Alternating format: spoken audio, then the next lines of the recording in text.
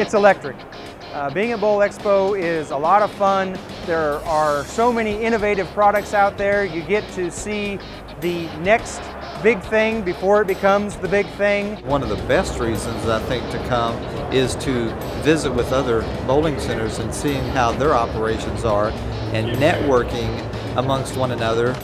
The most fun part is probably um, seeing all the people and uh, seeing all the different products that people have. One of my favorites is uh, all the food samples. I love trying the new nachos, the pizza machines. Uh, yeah, always enjoy eating. It's a great way to find new ideas for your bowling center. Um, not necessarily if your center's struggling, but even if you have a booming bowling center, not only can you offer stuff to other people, but there's some great ideas out there that maybe you've just never thought of.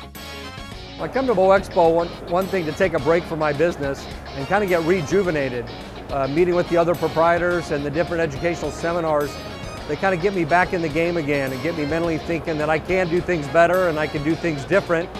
I get a good kind of a pulse of where the industry is at, where it's headed, and who the people are that are that are making those trends um, and taking the industry to where it's headed. I've always said, anybody that's anybody shows up at Bowl Expo. Please help me welcome Earvin Magic Johnson.